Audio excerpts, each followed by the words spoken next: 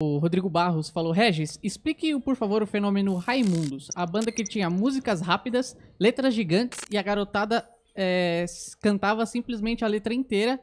É surreal pra uma banda de rock no Brasil.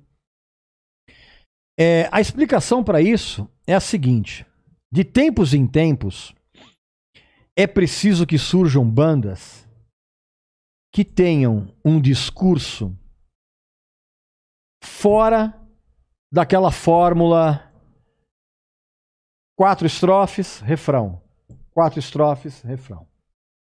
Isso aconteceu com a Legião Urbana, né? Faroeste Caboclo e Eduardo e Mônica são músicas que subverteram o padrão, não apenas de letra, mas do que tocar na rádio. É. Porque sempre que um negócio de tocar na tá com sono aí, né, meu? É, tá, tá adorando. tá adorando o papo aqui, né? É. Não, não, tô dormindo, não. Não, que isso? O, o- o- essas duas músicas subverteram esse padrão radiofônico de música de dois minutos, três minutos. É.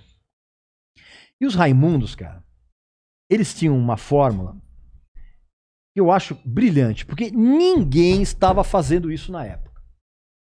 Que era misturar música nordestina, e quando eu falo música nordestina, é baião, forró, frevo, só que tocado como se fosse hardcore. Isso, é- isso tinha tudo para dar errado. Verdade. Se alguém apresentasse essa ideia, Tinha Vai dar errado. tudo pra dar errado. Mas por que deu certo?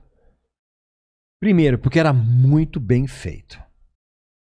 Assim, eram aquelas letras quilométricas que quase não tinha refrão, mas elas falavam de algo que era muito próximo do adolescente na época, que era coisa da sacanagem, que ele não poderia falar isso em outro lugar. Então ele ouvia Raimundo lá, o esporrando na manivela, o puteiro em João Pessoa, não sei o que, bababá. Então, foi uma esperteza dos caras também, porque eles resgataram essa- esse tipo de linguagem que é muito comum na- na- na- na música nordestina. Pô, você pega os primeiros discos do, do Zé Newton, o lance do duplo sentido. meu, o cara tem um disco chamado Só Capim Canela. Só capim. Só canela. Capim Canela. a coisa, a, a, a, talco no salão. A, a, é, Marinalva. Talco no salão. Talco no salão. Porra. Talco no salão. Talco. Hum. Tá ligado? Então, é- então é- é- isso é uma tradição da música nordestina. Então, quando você pega aí, você era uma fórmula tão absurdamente absurda que o fato de ter dado certo deu por quê? Primeiro, ninguém estava fazendo isso. Segundo, era muito bem feito. Terceiro, era pesado o som. Então, ele, encontrou um nicho e eles foram muito ajudados pela MTV. Muito ajudados. E muito ajudados também, cara, porque o selo Banguela tinha os casos dos Titãs no meio.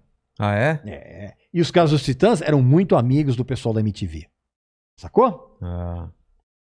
Talvez, se não tivesse rolado o apoio da MTV com os clipes, a coisa não tivesse vingado. Eles teriam permanecido no underground. Eu costumo dizer o seguinte, cara, tem muita banda que deve, até hoje, acender uma velhinha toda semana ali no altarzinho com o símbolo da MTV brasileira. Porque a MTV brasileira foi responsável pela sobrevivência de muita gente, inclusive gente que está aí até hoje.